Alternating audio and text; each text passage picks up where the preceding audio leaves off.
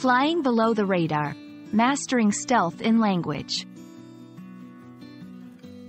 Hello, everyone. Welcome to our channel, where we dive deep into the fascinating world of English language learning. Today, we're exploring a very intriguing phrase, flying below the radar. Stick around to discover its meaning, origins, and how you can use it in everyday conversation. By understanding such expressions, you'll not only enrich your vocabulary but also gain insights into the cultural nuances of the English language. The phrase, flying below the radar, originally comes from aviation technology. Radars are used to detect and locate objects, such as aircraft, by sending out waves that reflect off those objects. If an airplane flies low enough, it can avoid detection by the radar, essentially moving unnoticed.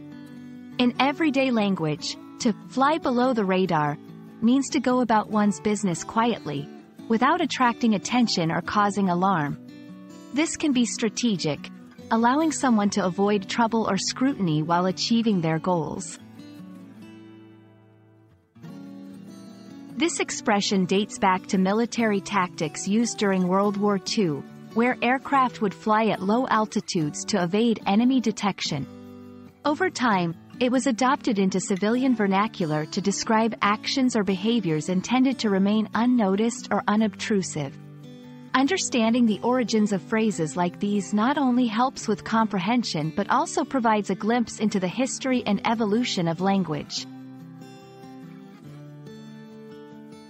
Now, Let's talk about how to use this phrase effectively in your daily conversations. 1. Discussing strategy. When planning to achieve something without drawing public attention, you might say, we need to fly below the radar until we're ready to launch. 2. Personal goals. If someone is working on a personal project or goal discreetly, they could use the phrase, I'm trying to fly below the radar while I work on my novel. 3. Avoiding detection.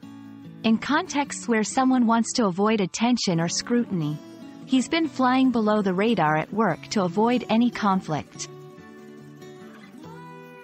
Remember, the key to using idiomatic expressions like this one is understanding both the literal and figurative meanings, as well as the context in which they can be applied. Thank you for joining us today as we explored the meaning and uses of flying below the radar.